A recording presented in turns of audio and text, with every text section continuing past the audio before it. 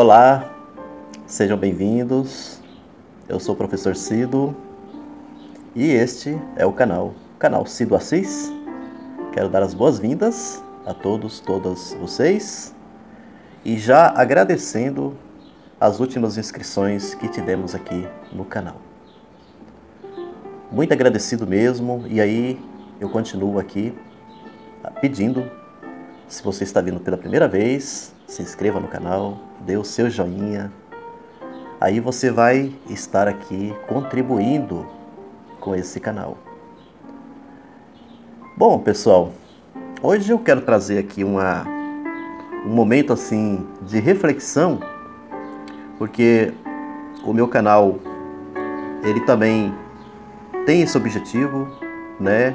Acima de tudo, da gente fazer boas reflexões sobre a situação que nós vivemos aqui no nosso país, tá? Só abaixando aqui um pouquinho. É... Eu, eu fiz um. Foram inclusive três vídeos que eu sei que alguns de vocês que já têm costume né, de me acompanhar aqui puderam é, assistir, né? Inclusive até fazer comentário é, de um trabalho que eu fiz em cima de um grande psicólogo, né? Um grande psicólogo chamado William Reich. Então eu tenho três vídeos, eu ainda não formei ainda a playlist, tá? Mas eu pretendo formar essa playlist, tá? Que tem a ver com a ideologia do fascismo.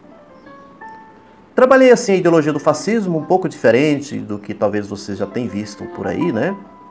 Eu peguei um pouco mais em cima é, desse trabalho, né, do pensamento do William Reich. Não foi assim de uma forma muito profunda, foi um pouco superficial, tá? Então ele não foi assim um trabalho profundo, porque é apenas assim uma, uma opinião, né?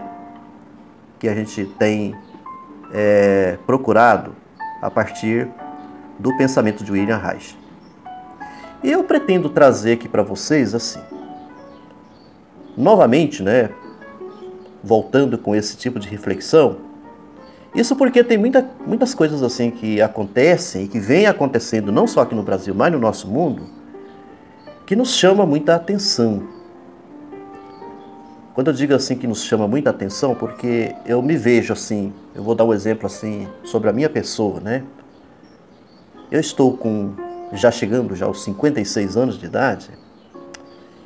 E para falar a verdade para vocês, eu já me deparei com diversas situações aqui no Brasil e também no mundo, com diversas situações difíceis, complicadas, inclusive até de presidentes que nós já tivemos aqui no Brasil.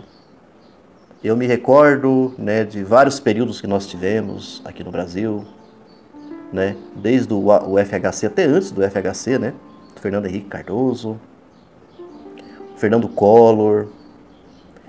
É bom a gente lembrar aqui dos períodos que passamos aqui no Brasil, dos, dos calotes, né, Muita, muita gente jovem, inclusive, nem se lembra, nem sabe o que, que é isso, dos calotes que aconteceram, os calotes financeiros, calotes de poupança, né, bloqueios de poupança de uma boa parte aí da, da população brasileira.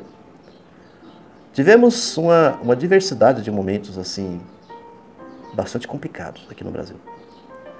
Mas eu assim, eu encaro, não sou apenas eu, mas eu sei que tem diversos intelectuais que encaram dessa forma que nós estamos vivendo e já não é de pouco tempo, né? Desde 2018. Dá pra gente dizer antes, no período do. É, lá do. Que foi o, o, o, vice da, da Dilma, que o nome agora me deu uma fugida nele aqui. Mas que era o antigo PMDB, né? Que, que também não deixou de ser assim bastante complicado. Que pegou um, uma, uma pequena parte aí né, da presidência da República aqui no Brasil, e que esse processo de destruição, como nós estamos tendo aqui com o Bolsonaro, ele já, ele já começou, né? ele só não teve tanta competência como o Bolsonaro está tendo agora, nesse momento, para poder alargar mais assim esse processo de destruição né, do nosso país. É, mas assim, o que eu estou querendo trazer aqui diz respeito não tanto o Bolsonaro. É isso que vem cada vez mais chamando a atenção da gente. Mas diz respeito às pessoas as pessoas. Porque, vamos entender uma coisa, gente, o Bolsonaro ele existe da forma como ele está aí, porque tem uma grande quantidade de pessoas que apoiam tudo isso. Né? E aí eu, eu, eu penso assim, você, você tem um apoio, uma escolha sua, uma opção sua, porque você tem liberdade para isso, eu tenho liberdade para isso, você também tem liberdade para isso de fazer uma escolha de partido, escolha de presidente que você quer escolher, governador que você quer escolher, prefeito que você quer escolher, deputado que você quer escolher, senador que você quer escolher, assim por. Nós, nós temos liberdade para isso. Não há nenhum problema em relação a isso. Acontece que tem certas coisas, e é aqui que eu estou querendo né, chegar com esse nível de reflexão que eu estou fazendo. Tem certas coisas que deveriam, por exemplo, nos indignar enquanto seres humanos, enquanto seres humanos que nós somos. Eu sou um ser humano, você também é um ser humano que está me assistindo, e nós temos seres humanos na sociedade como um todo. A sociedade nossa aqui a sociedade brasileira como um todo e no mundo como um todo. E quando nós estamos falando de seres humanos, né, seres humanos, nós estamos falando também de humanidade. Né? O que é essa humanidade? Essa humanidade que está muito presente na racionalidade humana. Aqui é uma questão kantiana, né, do filósofo Immanuel Kant, quando ele vai tratar sobre humanidade, que ele vai chamar a atenção no aspecto racional ou da racionalidade. Que dentro do campo da racionalidade, eu vou só dar um exemplo para você. Quando você vê uma pessoa caída, uma pessoa morrendo. Um exemplo. Uma pessoa que está passando por uma situação difícil, né? complicada. Você está vendo isso, você está vendo a pessoa passar. Né? Ou é uma doença, ou é. não sei. Essa pessoa está na pior. O que que, qual é a nossa reação diante disso? É uma reação de humanidade. Aqui vem o, entendimento de humanidade. É uma reação de que eu preciso, de alguma forma, por exemplo, ajudar essa pessoa. Ou procurar alguma coisa ou de um órgão público que possa, por exemplo, ajudar essa pessoa.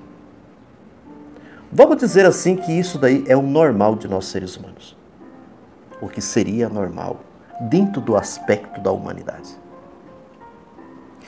Mas nós estamos agora, nesse momento, vivenciando no Brasil, e, e isso é, tem sob a liderança desse desgoverno do Bolsonaro, desde 2018, que vem exatamente na contramão disso que eu estou colocando aqui para vocês. Ou seja, ao invés da questão humanidade se fazer presente, é a desumanidade é que se faz presente. Aí nós poderíamos estar citando uma diversidade de exemplos, mas tem um exemplo que ele é o, que eu diria assim, é o resumo de todos, de todos os exemplos que nós poderíamos trazer aqui.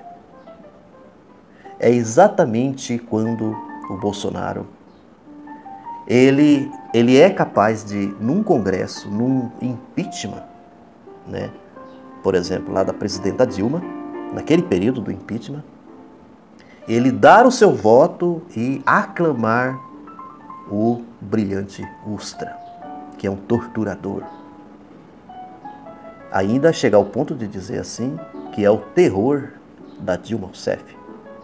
Só esse ponto aí já é um ponto de desumanidade tremenda que nós poderíamos resumir tudo aqui. O que, que tem na cabeça das pessoas, se a gente for aqui entrar no entendimento de ser partidário de uma pessoa, defender uma pessoa, né? De se sentir como se, né? Como se fosse uma coisa boa, interessante para o país, uma pessoa como o Bolsonaro. Aí eu volto com a psicologia de massas e o fascismo. A psicologia de massa do fascismo do Ira Reich, que vem nos explicar essas coisas que eu estou colocando aqui, que vem fazer-nos entender o não entendido, né? Ah, por quê? É, essa, essa questão do ódio, essa questão que, que leva as pessoas a, a, a esse processo de desumanização tão forte como está nesse momento. Né? Com um caso assim, igual essa da chacina que acontece nas favelas do Rio de Janeiro, aí o, o Bolsonaro ele, ele se coloca como se como se for, como que fosse uma satisfação né, a matança promovida por policiais, são assim considerados como se fossem heróis. A naturalização do crime. Que você está combatendo um crime organizado por meio de um outro crime. E assim por diante. Caso como o da Marielle Franco, que até hoje né? Não se sabe, por exemplo, quem, quem realmente mandou matar Marielle. Os envolvidos com a morte de Marielle, né? Marielle Franco. Então, assim, essa é uma situação que nós vivenciamos nesse nosso mundo e que a nossa luta é para vencermos isso. E aqui nós temos a presença do fascismo. Estão entendendo? A ideologia do fascismo, ele está presente em tudo isso. Essas pessoas, é nesse sentido que essas pessoas, apoiadoras de tudo isso, apoio a um genocídio, um genocida, né? Apoio a que o Brasil, passando pela pandemia, morrendo, milhares de pessoas, que inclusive já foram mortas essas milhares de pessoas, as dificuldades que o Brasil vem passando a fome, a miséria, o desemprego, como nós estamos tendo agora nesse momento. E nem por isso, isso não, não é capaz, por exemplo, de tocar no sentimento dessas pessoas. No sentimento dessas pessoas, não é pelo Bolsonaro e nem pelo Lula e nem por qualquer político que seja. É um sentimento pelo sofrimento desse da população brasileira, desse povo que está sofrendo.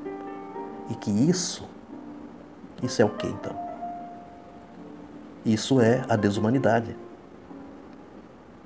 Está faltando a humanidade, a presença da humanidade nessas pessoas fascistas que apoiam o Bolsonaro. Esse é o recado que eu queria passar hoje para vocês. Sexta-feira, dia 27 de maio. Desejo todos e todas, todes, com muita alegria, apesar de tudo, né? Mas precisamos nos alegrar, nos unir, nos abraçar, né? De termos empatia, que é essa empatia que falta nesse povo aí. Falta essa empatia. Precisamos disso. Que Deus esteja, que Deus esteja com todos vocês, conosco, comigo também. E que possamos cada vez mais nos humanizar. Isso é importante. Grande abraço, até a próxima.